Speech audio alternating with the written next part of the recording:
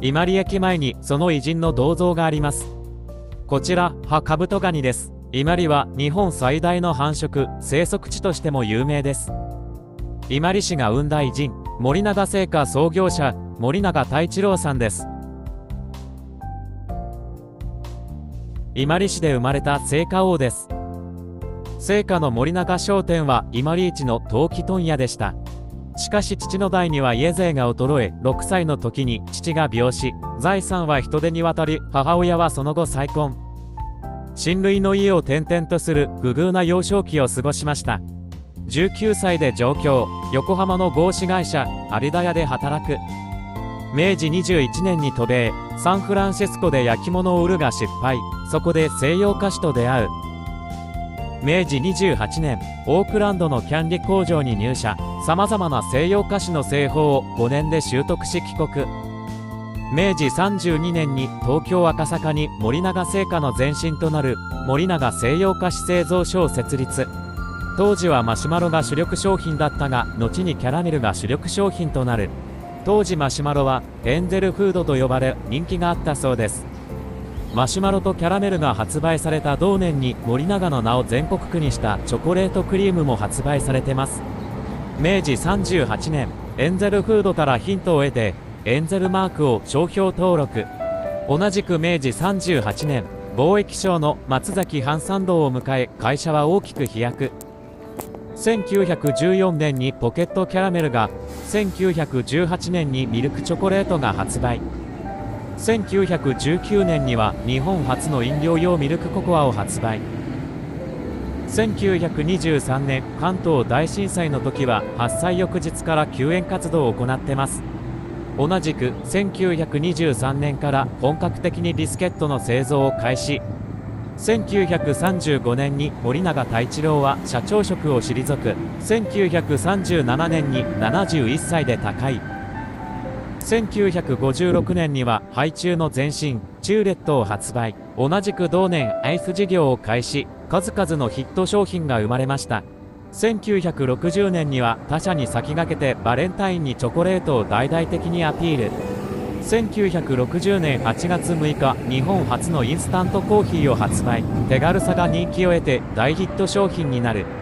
1967年にはチョコボールとチョコフレークを発売。ロングヒット商品となる。その後も小枝チョコモナカポテロングダースとヒット商品を出し続けてます。今のお菓子業界にはなくてはならない会社ですね。栄養のあるお菓子を日本の子に食べてもらいたいそんな思いから異国の地で修行し森永製菓が生まれました。世界の人々の安全で豊かな食生活の実現と健康の増進に寄与できる会社になりたいという企業理念は脈々と今も受け継がれてます。商売は誠実であれ不誠実な商売はしたらいけないの流儀を最後まで貫き通しました。ちなみに総理大臣経験者安倍晋三国会議員の奥様安倍昭恵さんは森永太一郎の外ひ孫娘だそうです。つまりは安倍昭恵さんのじいちゃんのお父様になるんですかね。森永太一郎は出生地伊万里の発展にも大きく寄与しました。1919年に知財を酪農資金として郷土振興のため東松浦郡に寄付。このお金で千葉県から乳頭50頭を買い伊万里で酪農が始まります。1922年に森永伊万里乳製品工場が新設。成果原料の練乳を製造。この工場設立をもとに地区の酪農は流星し1日5トンの牛乳を産出するようになる。陶器と農産物の集産以外になかった町に乳製品業を加えて伊万里の発展に大いに貢献しました。大正11年から平成6年まで長らく流星を極めましたが時代の変化と市街地の発展拡大に伴い閉鎖されました。工場跡地には森永公園が作られ市民の憩いの地として親しまれてます。森永公園には森永太一郎の銅像があります。工場は閉鎖されましたが森永太一郎が郷土を思う心はこの地に残り続けるでしょう。酪農とは関係はありませんが伊万里市は伊万里牛でも有名です。他には小伊万里で知られる伊万里焼も有名ですね。ということで西暦770年建立の伊万里神社の本殿に着きました。今回は本殿ではなく隣にあるちょっと珍しい神社に行ってみます。今回は本殿の隣にある中島神社です。お菓子の神様田島森命をお祭りしてあります。お菓子の元になったこの実を日本に持ち帰り伊万里の地に植えたと言われてます。命日の4月19日には賢治好み祭が執り行われてます。本殿から足元に気をつけながら階段を数分登ると見えてきました。森永太一郎の銅像があります。お菓子の神様がお菓子の元になる好みを持ち帰りその地で生まれた森永太一郎が森永製菓を創業したことを考えると伊万里市がお菓子の聖地と言ってもそれは過言かな？この後にもう一つの有名メーカーの創業者の話がまだありますんで過言ですね。と言ってる間に着きました。森永製菓創業者森永太一郎の銅像です。駅前の銅像は創業時代森永公園と伊万里神社の銅像は晩年期のお顔ですね。この地から日本のお菓子の発展をゆっくり見守っていらっしゃいます。伊万里にはもう一つ森永太一郎碑園があります。こちらにも森永太一郎の銅像があります。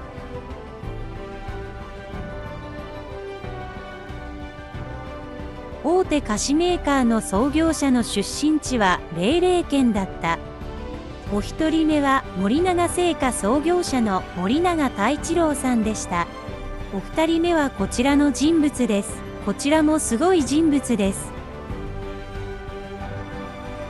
江崎グリコの創業者江崎リーチさんです。江崎リーチは現佐賀市に生まれます。家庭は薬業を営んでいましたが家計は貧しく家事の手伝いや姉妹の子守に明け暮れる日々でした。1901年に父が他界19歳の江崎が家族6人を背負う立場になりより一層商売に励むようになる。佐賀の筑後川河口にある戸狩漁港で水揚げされた牡蠣に含まれるグリコーゲンからグリコーゲンの事業化を思いつくたまたま通りかかった漁港で牡蠣の干し身を作る小屋で牡蠣の煮汁が廃棄されるのを見て、その煮汁にグリコーゲンが含まれているのではないか、とひらめいた。グリコーゲンの事業化を考える日々が続いた。そんな折、江崎の長男がチフスにかかる。ひどく衰弱し、食欲もほとんどなくなる。医者に相談しながらグリコーゲンエキスを与えてみたところ、ほどなくして回復した。この件があり、さらに事業化を考えるようになる。1921年、家族一家で大阪に移住、グリコの販売を始める。一流の販売店に陳列してもらえば一流の商品と思ってもらえるという思いから三越に通い詰め無名の商品グリコを置いてもらうことに成功それを機に大阪市内の菓子店の店頭にもグリコを置いてもらえるようになる3年目にして黒字化を達成。グリコが徐々に売れ始める。1927年おもちゃの封入が始まる。食べると遊ぶは子供にとって大きな魅力になる。これを1箱で満足させたいという思いとグリコで健康を増進させおもちゃで知識と上層の向上ができれば事業奉仕の精神につながると考えてだった。1931年に現在の本社がある大阪西淀川に大阪新工場を設立。翌年には中国大連に工場を設立。1935年大阪難波恵比寿峡に日本刀を設置。当時は33メートルの高さ。こちらは今でも大阪の有名観光地ですね。1937年に東京工場を設立。しかし1945年に空襲で大阪工場も東京工場も消失してしまう。しかし1951年に大阪工場東京工場再建1953年には九州工場も新設。ここから江崎グリコは飛躍的に成長していきます。1933年にビスコを発売。1958年にアーモンドチョコレートを発売。1966年にポッキーを発売。現在の人気商品が続々と発売。1972年には誰もが知ってる人気プリンプッチンプリンを発売ロングセラー商品となる商売は 2×25、2×24 では当たり前。さらに人一倍の努力と工夫をすれば5にも6にもなる。この精神でいくつもの難題を江崎は乗り越えました。座右の銘は、事業奉仕即幸福生涯この精神を貫きました。ちなみに現在のグリコ社長さんは江崎の孫にあたります。2022年2月11日にグリコは創業100周年を迎えました。この戸狩漁港がグリコを生んだ地と言っても過言ではないですね。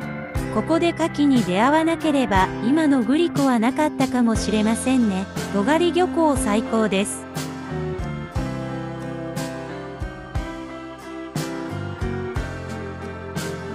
戸狩漁港の近くには世界遺産三重津海軍所跡があります。日本赤十字社創業者佐野常民記念館のすぐ近くです。佐野常民さんです。こちらが世界遺産です。説明読まないとわかりませんね。佐賀藩の海軍の本拠地と船を修理するドックがあったそうです。